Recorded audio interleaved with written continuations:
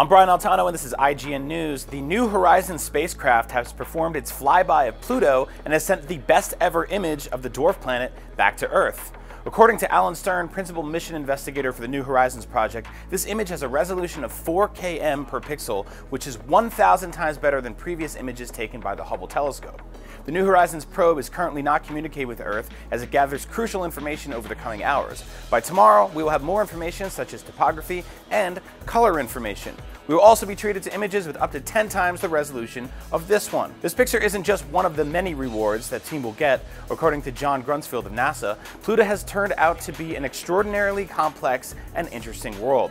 Pluto is 1,500 miles across and the image is aligned with north at the top. We can see in great detail the dark regions near the equator and a history of impacts on the surface. Fittingly, we have received the image on the 50th anniversary of Mariner 4 performing the first ever flyby of Mars. This is true exploration, says Alan Stern. New Horizons is flying into the unknown. Over the coming months and years, we'll be getting a lot more information about Pluto's possible polar ice cap and mysterious, terrifying dark spots near the equator. For more, stay tuned to IGN.